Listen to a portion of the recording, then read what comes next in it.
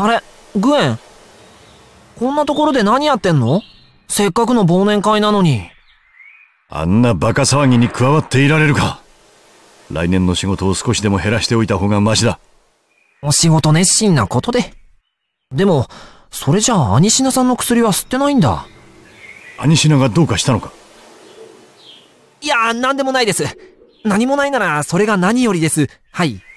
おかしな奴だな。何を企んでいる？そんな、企んでいるなんて滅相もない。前々から言おうと思っていたが、あまりあいつの実験に関わるな。ろくなことがないぞ。心配しなくても、俺とアニシナさんはそんな仲にはなりませんって。気にしすぎだよ。え？別に、お前とアニシナの仲を気にしているわけではない。またまた。グエンは心配性だね。でも気にしてくれて嬉しいよ。なんだかんだ言って、グエンが一番俺のことを心配してくれてるよね。それは、進化が王を気遣うのは当たり前のことだ。またそういうこと言う。でも本当に嬉しいと思ってるんだよ。大人をからかうもんじゃない。まったく。しょうがない魔王陛下でちね。ええ、今なんて？みんなもそう思いますよね。みんなって。うわ編みぐるみ？いつの間にか編みぐるみが部屋中にええ、そう思いまっちゅ。しかも人が埋もれてるいつからいたんだよ？ちょに落ちが立ちてるんでっちゅう。兄上、もう動いてもいいでちゅか。じっとしているのも辛いのでちゅか。カッカ俺も辛いでちゅ。もう今年は仕事納めなのでちゅよ。どうしても働きたいならあなたお一人でなっちゃいくえんだろ。嫌でちゅ。一人で働くのは寂しいでちゅ。みんなそばにいてくだちゃい。どうなってるの？これ。そうか。一足遅かったんだ。やっぱり吸っちゃったんだ。あの薬アニシナさんの発明に資格はないな。でも顔色一つ変わってない。グエンってこんな風に酔うんだ。泣き上戸とか笑い上戸とかあるけどこれは一体何だ？子供上戸？何の話だかよくわかりまっちゃん。いやこんなのグエンじゃない。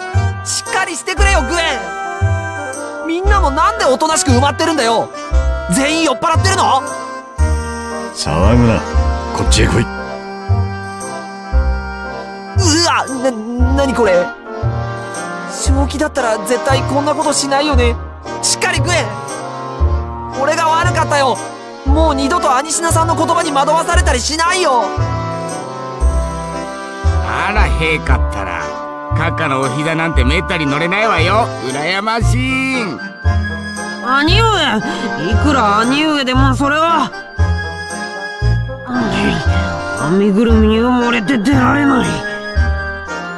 陛下乗るのでしたら私の膝にぜひこの私の。まずここを出られないと話になりませんね。落ち着いてないで助けてくれよみんな。いいから話を聞け我が国の国王陛下というのは全く自由奔放で、こちらの都合など構わず、あっちとこっちを行ったり来たりで、おかげで予定は狂うわ、政務は滞るわ。す、すみません。王さは右往左往していて役に立たないし、次男は政務には消極的だし、三男はわがままだし。それ俺が悪いの？俺のせいなの？役に立たぬとは何です？誰がわがままプーですか兄上。プーまでは言ってねえ。仕事は全部こっちに回ってきて休む暇もない。編み物でもしないとやってられるか。はあ。いいストレス解消の方法があって何よりだと思います。人騒がせで勝手気ままで強情な小僧だが。まっすぐで強い信念があって。あれはあれで良い王になる素質があると思っている。えそうなんだ。改めて言われると照れるな。何より漆黒の大きな瞳がキラキラと太陽のように輝いていて愛らしい。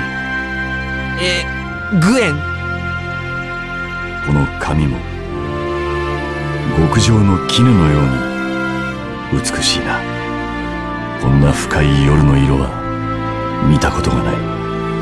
ちょグエンくすぐったいよ。お前は私の作品のどれよりも愛らしい姿をしているな。あれと比べるのかよ。クマちゃんだか猫ちゃんだか半然としない代物と。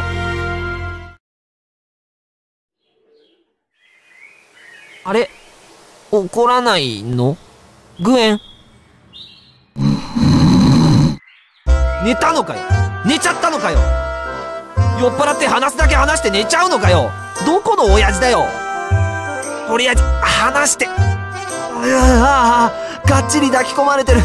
力強い。あんたたちも黙って見てないで助けてよ。えあれ？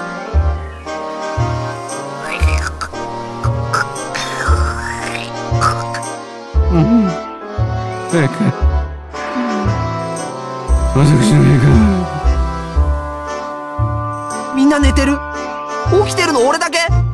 何それ寂しいよ。助けて。俺を自由にして。誰か来て